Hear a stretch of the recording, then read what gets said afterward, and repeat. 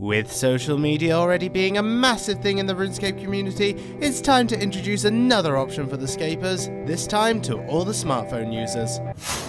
As RuneScape proceeds to become an MMO on most, if not all, social media sites on the web or smartphones, we are proud to introduce the RuneScape Tinder box.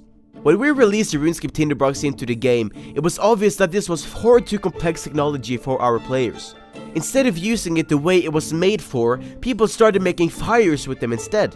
After a few years, we figure out it was finally time to reintroduce it to the world. After the release of bonfires and tool belts, less and less people use the tinderbox, and what better time is it to re-release content than when the previous use of it has disappeared? This is not a dating site. The RuneScape Tinderbox is a tool where you can look up other players in your area.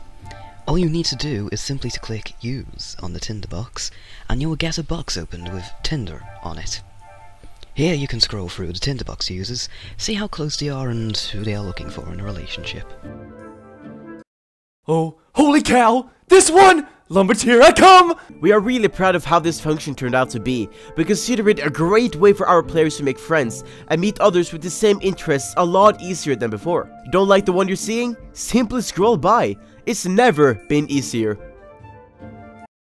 Mom? M Mom? What are you doing? With this update, we finally found a new way to battle one of the more serious issues today, being the noobs yelling, I'll be your girlfriend for 1k. We believe this update will stop this form of rule breaking and will stop the complaints we get from worried players who figure out they have been dating men. My favourite part of the Tinderbox is that everyone who uses it usually dates. So it's a really effective way to catch the online daters. They'll never see it coming.